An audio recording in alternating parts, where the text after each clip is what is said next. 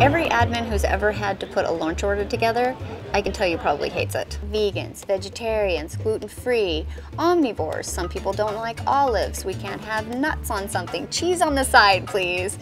We have a lot of stipulations. The last thing I want to think about is who wants what on their sandwich.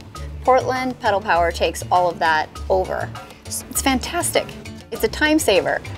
I have had many a day where I came in and I had a meeting that I forgot about and I've got 10 people and I need lunch for and it's 11 o'clock and I need lunch at noon and I'll call at the last minute or I'll email at the last minute. I have it has never not come through.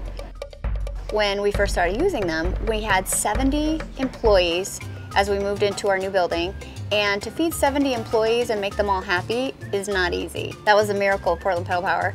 When we grew to 300, we felt like maybe this is too much for Portland Pedal Power. We should bring in catering. We tried catering for a while, and it was a, a stoic kind of relationship. And they came in and they did a great job, and the food was fine. Um, it's not the same thing as having people come in and be part of the company and be dedicated to you the, the way Portland Pedal Power has. It feels like they'll jump through hoops for us. Now they're the only ones we use. We don't use catering anymore and because it makes the employees happy on all levels.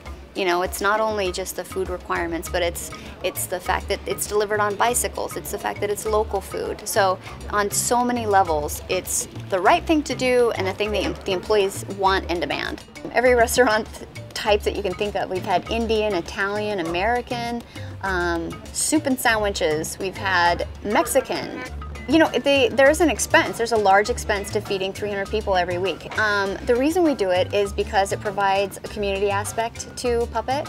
It's the time when everybody comes, they're in line with people they don't usually mingle with during the day. You might be in line with an engineer and you're in sales. It gives, um, it gives the employees opportunity to meet with each other, sit with each other. It's a community. It's a, the reason is community. And it's all seamless. I don't have to deal with it. I don't order it. I say, I need Italian for 300 people. You guys have all of our stats in the computer, how many vegetarians and vegans we have. Um, it's easy. I don't do it. Portland Pedal Power does it. It's so easy. It's almost on autopilot at this point. Of course, we've been with Jen and Portland Pedal Power for like four years now. So now they're just part of the Puppet family. I mean, they're family. So, and they've never let us down.